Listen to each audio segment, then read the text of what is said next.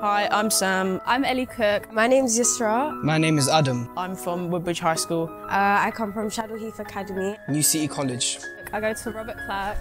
And I came to this program because I thought it'd be a great opportunity. I've chosen this program because I'm looking for work experience and possible career opportunities. I chose the program so that I could have the opportunity to learn from different people, meet new people, and just have the great experience that I read online. Guest speakers was very nice because it gave me insight to what's possible and how you could overcome everything. How to manage stress, how to deal with rejection, and it was really good. Um, I thought they were very well spoken. It kind of seemed to be related, relatable to me. The speakers have actually helped a lot. Like they've helped me look into like potential job sectors, different unis, and like ways that I can work towards my goals in the future.